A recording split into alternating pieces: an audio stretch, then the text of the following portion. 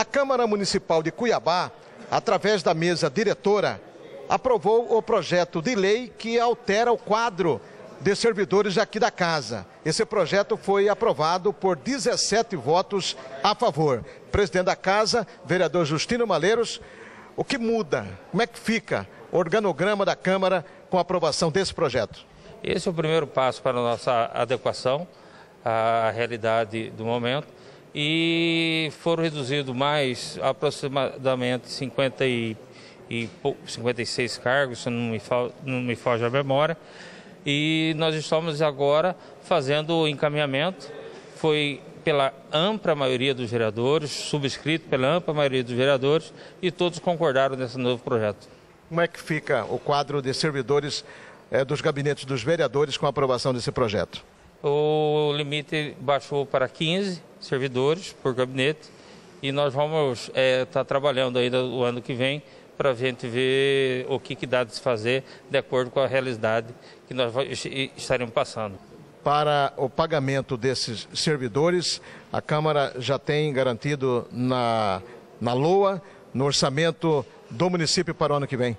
Já está previsto orçamentariamente dentro da LOA o cálculo previsto, foi esse o cálculo. O que aconteceu? Não, não foram dois projetos. Houve um, um, uma mesa de estudo que foi proposta à, à mesa diretora.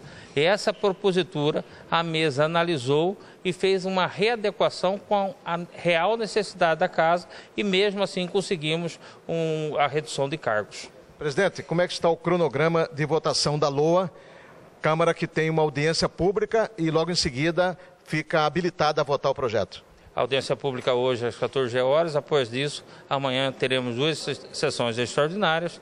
É, e espera, esperamos aprovar a Lua com todas as emendas amanhã para encerrar os trabalhos legislativos. Com o substitutivo encaminhado pelo prefeito Manuel Pinheiro aqui para casa, o que, que altera da proposta inicial?